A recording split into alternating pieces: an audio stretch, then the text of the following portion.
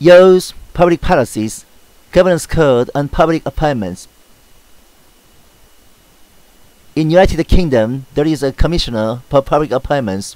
The commissioner is appointed by the king and is independent of the government and the civil service. UK Minister for the Cabinet Office published Governance Code in 2016 in line with Public Appointments Order. The following is a few of the steps and criteria in appointments.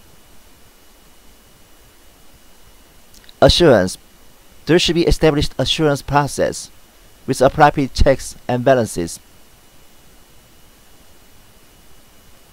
Diversity. Public appointments should reflect the diversity of society in which we live today. Fairness. Selection process should be fair, impartial. Each candidate must be assessed against the same criteria. Integrity.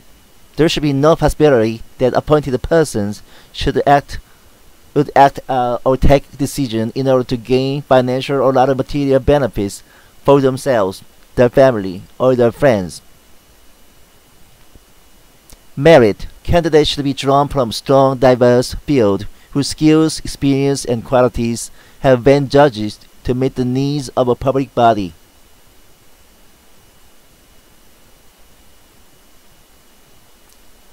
Selflessness.